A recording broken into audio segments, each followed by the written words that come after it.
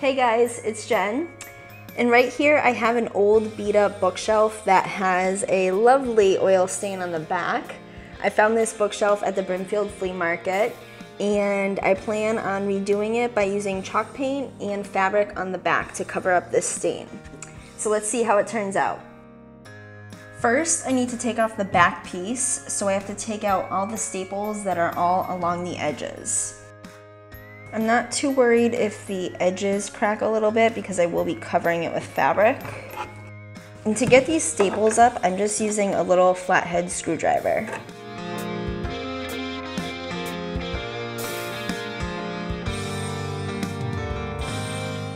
Now I'm just getting the remaining staples out.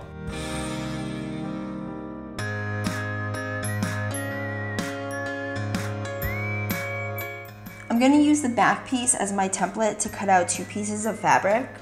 One of the pieces is going to be the exact dimensions of the back and the other is going to be about an inch bigger on all four sides.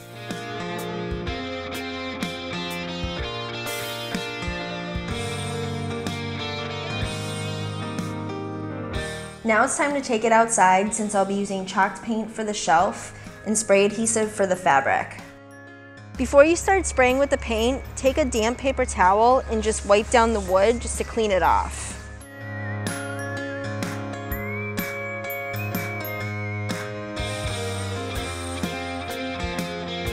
Now go ahead and put on gloves and start spraying.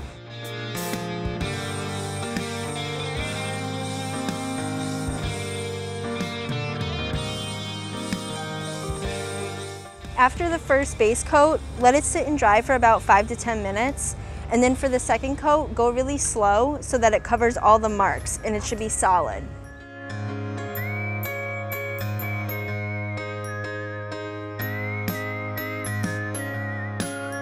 Also, make sure that you're going with the direction of the wind.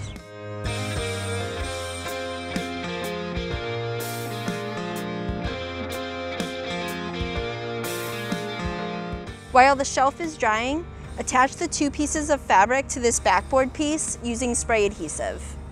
First, I'm going to spray this backboard piece with the spray adhesive, and then I'm going to place it in the center of the larger piece of fabric.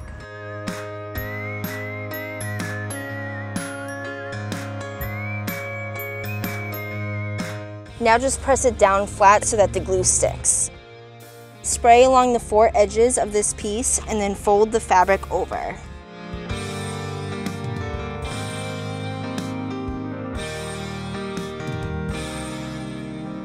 For the last part of this, I'm gonna spray this entire back piece and then put this fabric on top.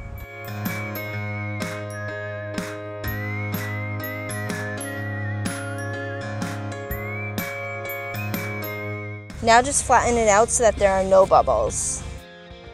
Now that the shelf is dry and the backboard is done, I'm going to sand down the entire shelf, especially the edges and the corners, for a distressed look. Start off going gently.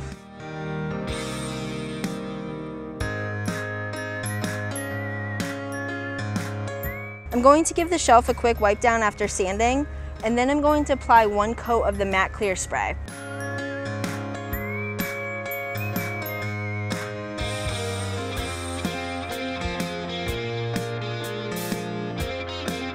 Finally, I'm going to staple the backboard back on, and I'm gonna make sure that the raw edge side of the fabric is facing down towards the shelf, and just line it up correctly.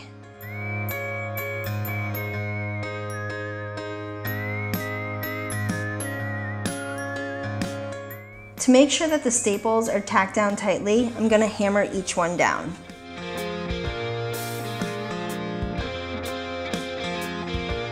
So this is how the shelf came out. I'm very happy with it. I really like how the gray in the fabric matches the gray paint really well. And I chose to distress it because I wanted a more rustic vintage look.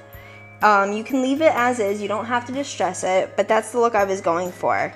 And that's pretty much it. Thanks for watching.